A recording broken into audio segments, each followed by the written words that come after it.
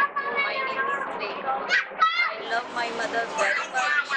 Um, हम तीन बहने और एक भाई हैं, जितनी बहन भाई में सब मुझे प्यार मेरी मदर ने दिया है किसी ने किसी मदर को नहीं किया होगा, और हमारे घर का एटमोसफेयर ऐसा नहीं था मेरी मदर ने फिर भी ऊपर से होकर जो मेरे लिए किया है, वो डिस्क्राइब नहीं कर सकी मैं